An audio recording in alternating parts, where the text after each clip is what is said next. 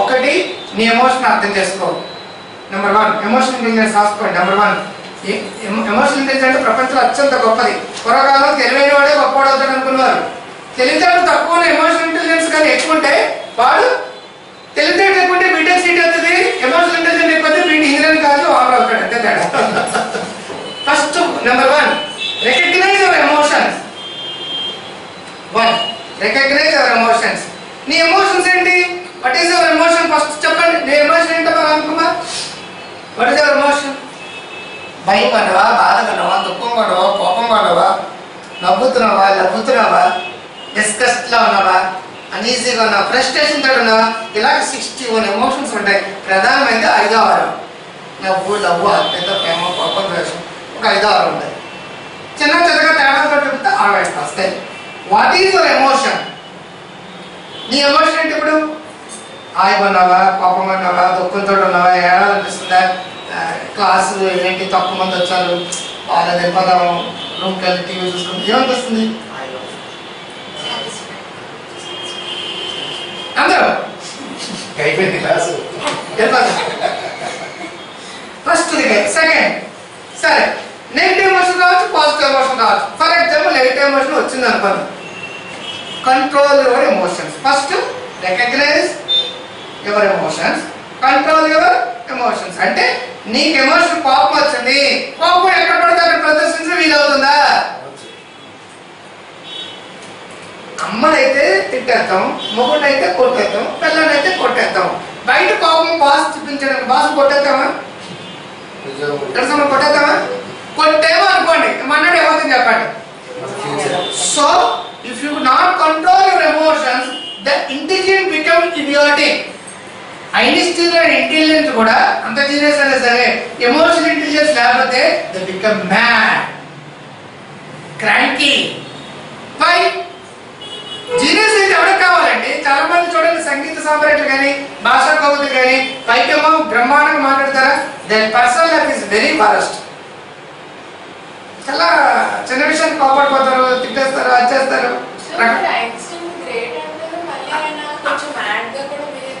వచ్చేస్తారు all genius extraordinary persons are are the become as abnormal persons common the seems to be abnormal persons ఎందుకంటే వాళ్ళు ఆలోచన వాళ్ళు ఉంటారు అందుకే పిల్లలు వాళ్ళతో కాపరాలు చేయలేదు నాకు అది మాకం కాబట్టి ఐనిస్టన్ కాదు. మహాత్మా గాంధీ చాలా గొప్పవాడు ఉండొచ్చు. వాళ్ళ పిల్లల్ని అడగండి. అది సాటిస్ఫైడ్ మహాత్మా గాంధీ అని. సో సారీ అడగడానికి ఇప్పుడు ఏమంటావా మామూలు ఎగ్జాంపుల్ చెప్తున్నాను అంటే ప్రపంచంలో చాలా మంది ఇప్పుడు సిఈటి లీడర్స్ కానీ సిపిఎం పార్టీ లీడర్స్ కానీ ఒక్క కుటుంబంలో ఒక్క అడిగి చూడండి. మీ నాన్నంతా అడగండి రేపు పొద్దున వస్తాడు ఎప్పుడు వస్తాడు కళ్ళని అడగండి అంటే వాళ్ళు చట్టాలను కాదు ఇక్కడ అర్థం. రాముడు మంచి బాగుంటే అర్థం రాముడు సమాధి గురించి ఆలోచిస్తాడు కానీ పిల్లల గురించి ఆలోచిస్తాడు అది ప్రాబ్లం. శ్రీకృష్ణుడు అయితే నేను మీ అమ్మ బాగా ఇష్టపడ్డ. శ్రీకృష్ణుడు హైలీ ఎమోషనల్ ఇంటెలిజెన్స్ పర్సన్ అంటాం మనం. మన భాషలో. అంటే ఇక్కడ రెండు రకాలండి. ఎమోషనల్ ఇంటెలిజెన్స్ అంటే ఎలా కోపం గురించి చూసుకోండి ఆఫ్రికాలో దాన్ని దింపేశారు. మనకైతే నేను ఫస్ట్ క్లాస్ ఏసీ తీసుకున్న టికెట్ నన్ను దింపేటప్పుడు కోపం వచ్చింది నేను అది ఏం చేశాడు? ఒక పన్నెండేళ్ళు పదమూడేళ్ళ తర్వాత ఆఫ్రికాలో ట్రైన్ నుంచి నన్ను దింపేశారు. ఇండియా నుంచి వాడు దింపేశాడు చూడండి. టిట్వెల్ కంటెంట్ అంటే బ్రిటిష్ వాళ్ళు భారతదేశం నుంచి దింపేశాడు. అది కోపం అంటే. మనకు కోపం ఎలా కొనుక్కోలేదు డబ్బులు ఇలాగ. కానీ కొనలేడు కొనలేడు కొనలేడు అన్నాడు. ఓపిక భరించాడు భరించాడు. ఏం చేశాడు? రాజ్యాంగం రాశాడు. ఎవరైతే వెనకబడ్డారో వాళ్ళందరికీ రిజర్వేషన్ ఇచ్చాడు. టిట్ ఫర్ ట్యాట్ అంటే అది. ఒక మంచి తోటి కోపాన్ని తీర్చుకునే తల్లి. నువ్వు ఎంత తెలివైన ఇంటెలిజెన్స్ అది రాంగ్ వేలో ప్రొజెక్ట్ అవుతుంది. రైట్ కోపం తీర్చుకునే పద్ధతి ఫీజు లైన్ తింటాం వెంటనే సహనం చెప్తే ఫీజు లైన్ చిన్నదే. ఫీజు లైన్ చాలా సేపటికి తర్వాత వరకు ఆలోచించి ఆలోచించి ఎప్పుడు ఏది కొట్టాలో అప్పుడు అది కొట్టాలి కొండ బద్ద చెప్పాలంటారు. కొండ లేబట్టి కంప్యూటర్ బద్దకొట్టినాడు అలా బద్ద కొట్టడం ఇల్లు కంప్యూటర్ మిగితే ఇల్లు ల్యాప్టాప్ మిగితే ఇల్లు? ఇల్లు రిమోట్. ఇళ్ళలో రిమోట్ లేదు పాడైపోయినాయి మీకు?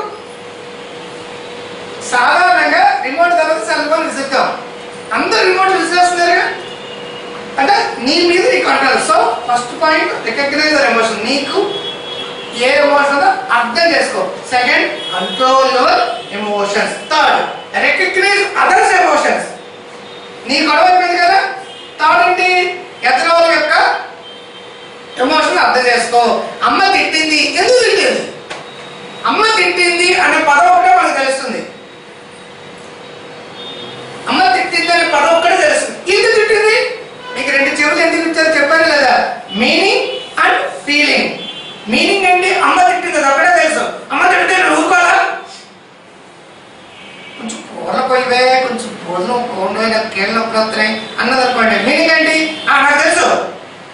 ఆ ఫీలింగ్ ఏంటి? అమ్మని అర్థం చేసుకోవాలి. అమ్మ భాష రాకపోతే భాష పండితులు అంటే అమ్మలందరూనే పెద్ద సైకాలజిస్ట్ మేనేజ్మెంట్ ఎక్స్పర్ట్ వాళ్ళు తెలిసిన మాట్లాడే కూతురు నా స్వర్గం నా కొడుకు నా బంగారు కొండ ఈ రెండే తెలుసు. చెప్పి మొదలెట్టి "ఒరేయ్, ఒరేయ్, నీతో అంటే చచ్చిపోతున్న అర్థం నాకు నీ మీద ఇంత ప్రేమ ఉంది. నువ్వు గొప్పగా చదివేసుకుంటే నీ కారణం నా పేరు పడ్డేస్తాను నేను. ఫీలింగ్ ఏంటి? అది మీనింగ్ ఏంటి? నన్ను తిడుతుంది మా అమ్మ మాట్లాడతాను నన్ను మా అమ్మ బుద్ధే అంటున్నావు లేదా మీనింగ్ కాదు important what is our feeling our father feeling our subordinate feeling our బయట ఫీలింగ్ లా సుబ్బవర్ ఫీలింగ్ పదాన్ని ఇతడు ఎలా చచ్చిపోతాను చచ్చిపోతాను నిజంగా మీనింగ్ ఇది చూడొద్దండి ఎవరైనా మాట్లాడితే ఫీలింగ్ చూడాలి బాడీ ఏం చెప్తుంది? ప్రేమ చెప్తుందా ప్యాషన్ చెప్తుందా కోపం చెప్తుందా? రికగ్నైజ్ ఎమోషన్స్ అంటే అది. ఎదరో రికగ్నైజ్ మనకు వస్తే మన కుటుంబాలు ఎలా ఉంటాయండి? మూడు పూలు ముప్పై నాలుగు కాయలే ఉంటాయి. ఆకాయలు కాదు మన సక్సెస్ ఫెయిలియర్ కారణం మన కుటుంబాలు ఎమోషన్ డీలింగ్ విత్ ఎమోషన్స్ మూడు పిల్లలు పిల్లల తల్లిదండ్రులు ఆఫీసులో సబార్డినేట్ సుపీరియర్ పక్కోడు మనం ఎమోషన్స్ సరిగ్గా డీల్ చేయకపోవడం వల్ల వచ్చే గొడవలు. నాలుగు. Control others emotions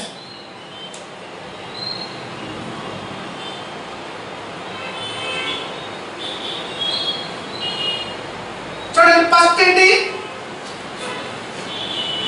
recognize your emotions అంటే మీనింగ్ ఏంటి? నీ ఎమోషన్స్ అర్థం చేసుకో. కంట్రోల్ యువర్ ఎమోషన్స్ అంటే ఎలా తెలిసింది ఇది?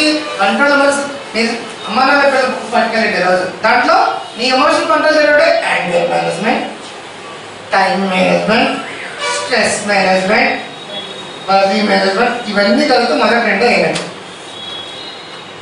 రికగ్నైజ్ అదర్స్ ఎమోషన్స్ కోపంతో వచ్చేస్తాడండి రికగ్నైజ్ చేశారు కోపంతో వచ్చారు కంట్రోల్ అదర్స్ ఎమోషన్స్ ఆ కోపంతో ఎత్తే మనం కోపంతో పోతే ఏమైంది స్టిమ్యులేషన్ రెస్పాన్స్ అయింది ఆ కోపంతో ఎప్పుడు బాబా ఏంటి విశేషాలు మంచి బాగుంటుంది కమ్యూనికేషన్ స్కిల్స్ హాస్యం దివ్య ఔషధం body language how to smile how to interact ఎదురోల్ని ఎలా ఇంటరాక్ట్ అవ్వాలి? మూడు పిల్లలు కూడా కారణం ఏంటంటే ఎదురోని మేనేజ్ చేయడం నాకు బాడీ లాంగ్వేజ్ ఇంపార్టెంట్ భాషా చతురత.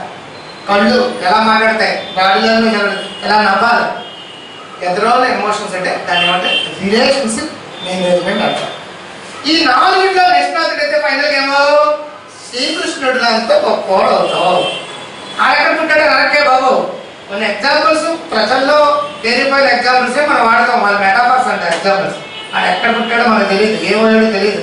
ఇప్పుడే సాగండి కొట్టేసుకుంటే గొడవతో ఎడుతారు ప్రజలు వాళ్ళకి ఓకేనా? ఎగ్జాంపుల్ తీసుకునేటప్పుడు పాపులర్ మాట తీసుకుంటే మనకి క్యాచ్గా ఉంటుంది. ఈ నాలుగు చేయండి. ఈ రోజు ఇంటికి వెళ్ళి ఏం చేయాలి? అమ్మ నాన్న పిల్లలు బుక్ చదవండి. అమ్మ నాన్న పిల్లలు కనపడరు మీరే కనిపిస్తారు. మొత్తం ముక్కు నైన్టీ కంట్లో అయిపోతుంది. ఈ రోజు ఇమీడియట్గా చదివిన రేపు ప్రతి క్లాస్ సేమ్ క్లాస్ మీకు ఎమోషన్ ఇంటెలిజెన్స్ చెప్తాను డిజిటల్గా. ఇప్పుడు మన ప్రపంచంలో నెగ్గుతావా వాడతావా? నువ్వు టెన్త్ క్లాస్లో ఫెయిల్ అయ్యొచ్చు బీటెక్లో ఫెయిల్ అయ్యొచ్చు ఎంపీలో ఫెయిల్ అయ్యొచ్చు బట్ సమాజంలో బతకాలంటే ఎమోషనల్ ఇంటెలిజెన్స్ కావాలి. ఈ ఐ బ్రెయిన్ గుచ్చు బాగుంటే వచ్చి మార్పులు. ఎమోషనల్ ఇంటెలిజెన్స్ బాగుంటే ఐక్యూ అనేది ఎవరు పెంచలేమో. ప్రపంచంలో రీసెర్చ్లో ఐక్యూ పెంచలేదు. మరి ఎలా నవ్వాలో నేర్చుకోవచ్చు కోపం తగ్గించుకోవడం నేర్చుకోవచ్చు సెల్ఫ్ కంట్రోల్ నేర్చుకోవచ్చు. యాంగర్ మేనేజ్మెంట్ నేర్చుకోవచ్చు. టైం మేనేజ్మెంట్ నేర్చుకోవచ్చు సెల్ఫ్ మేనేజ్మెంట్ నేర్చుకోవచ్చు. నవ్వడం నేర్చుకోవచ్చు షేక్ హ్యాండ్ కూడా నేర్చుకోవచ్చు. కళ్ళల్లో కళ్ళు పెట్టి చూడు. స్మైల్ నేర్చుకోవచ్చు. ఇవన్నీ కూడా trainable emotional intelligence is trainable IQ is not అసలు పెరగదు మనకు వచ్చింది? తక్కువ ఎక్కువ? మనకు తెలియదు ఎంతంటే బేస్ ఐక్యూ అంటే? ఐక్యూ అంటే last eighty five eighty five లోపు ఉంటుంది ఐక్యూ. హండ్రెడ్ అంటే నార్మల్. జీనియస్ లెవెల్ ఒకటి యావరేజ్ లెవెల్ ఒకటి. జీనియస్ లెవెల్ అంటే అబౌవ్ హండ్రెడ్ అమ్మా తెలివైనడు అయితే normal intelligence hundred one ten అలా వస్తే clever one thirty one twenty five అయితే జీనియస్ వన్ ఫార్టీ వన్ ఆ లెవెల్ వచ్చిందంటే వాడు మా జీనియస్ కింద లెక్క కాలేజ్ హండ్రెడ్ నుంచి. నైంటీ వరకు అది కూడా నార్మల్ ఐక్యూ కింద వస్తుంది బట్ కొంచెం తెలివి తక్కువ అనమాట నైన్టీ కిందకు వస్తున్నాడంటే పార్షియల్ ఇంటెలిజెన్స్ అంటాం. సెవెంటీ కిందకు వస్తే మోడరేట్ ఇంటెలిజెన్స్ అంటాం. ట్వంటీ ఫైవ్ థర్టీ కిందకు వచ్చేసిందంటే ఆడు ఆ, ముట్టు కట్టుకోవడానికి కూడా కుదరదు. ఇదే ప్రాబ్లం చాకంటి కోటి సేకరించాడు గొడవ ఈ టాపిక్ తోటి వచ్చింది. అది భయపడితే భయభక్తి కడుపులో బిడ్డగా ఉన్నప్పుడు సరిగ్గా వాళ్ళ అమ్మ సరిగ్గా తినకపోయినా ఆరు నెలలు ఏడు నెలలుగా భర్త వచ్చేసిన డెలివరీ అయిపోయినా మెట్లు ఎక్కినప్పుడు అమ్మ నేను పోయినా నువ్వు మెంటల్ ఇరవై ఐదో చాప్టర్ ఇరవై ఐదో చాప్టర్ మెంటల్ ఆర్టికల్ ఇది చెప్పి చదువు. దాంట్లో వాళ్ళ వాళ్ళు వాళ్ళు తిడుతున్నారు? ఈ సైకాలజీ క్లాస్ అమ్మ నాన్న వెనక. పైకి వచ్చిన గురించి ఎవడ ఎవడైనా పోగుతాడు అది కాదండి. మిగతా తొంభై తొమ్మిది పర్సెంట్ పైకి తీసుకురావడం సైకాలజీ అంటే. వన్ పర్సెంట్ పైకి వచ్చేస్తాడు. తొంభై తొమ్మిది పర్సెంట్ కూడా సక్సెస్.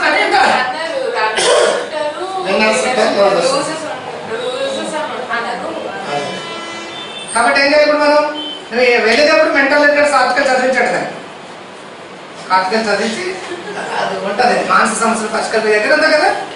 అది ఇరవై ఆరు ఏదో. సెవెంటీ ఎయిటీ వస్తే నైన్టీ తెచ్చుకుంటే మంచిది కదా అని చెప్తారు తప్ప సెవెంటీ ఎయిటీ వస్తే తిట్టరు కదా. తిట్టడం కొట్టడం ప్రెషర్ పెట్టడం అంటే అన్ని కట్ వాళ్ళకి తెలియదమ్మా ఇక్కడ ఎక్కువ మార్కులు వచ్చేస్తే బోర్ పడితే వాళ్ళు సెల్ ఫోన్ యూస్ చేయొచ్చు. మేము ఒక్కసారి ఏదైనా అర్జెంట్ కాల్ వచ్చినా సరే బయట పెట్టకూడదు. అసలు ఫోన్ తగ్గించుకోండి వాళ్ళకి